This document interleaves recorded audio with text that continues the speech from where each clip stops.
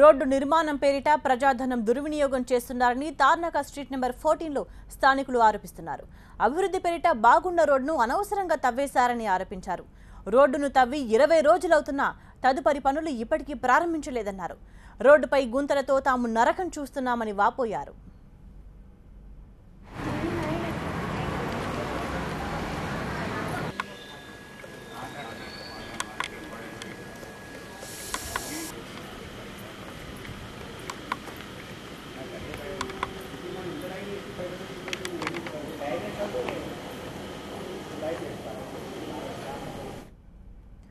రోడ్ను తవ్వి వదిలేయడం వల్ల వృద్ధులు మహిళలు చిన్నారులు దారిలో నడవాలంటేనే తీవ్ర ఇబ్బందులకు గురవుతున్నారు.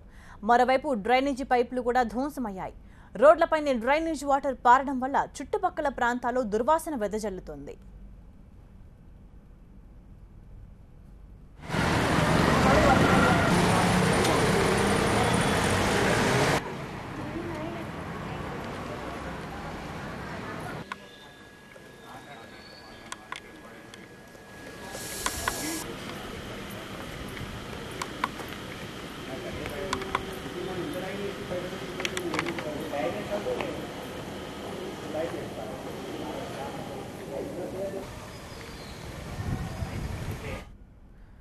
గుంతలమయంగా మారిన ఈ రోడ్ పలు విధాలుగా స్థానికులకు అంతరాయం కలిగిస్తోందని వాపోతున్నారు.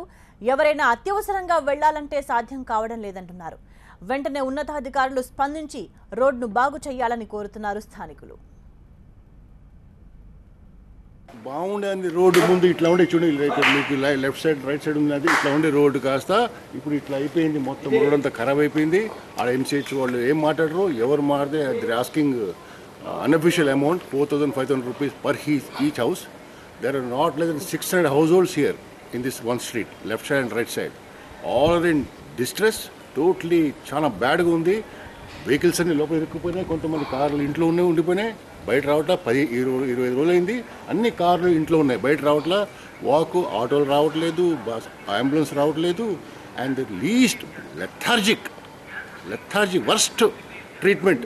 ఇంకా ఇక్కడ local corporator MLAs no no response.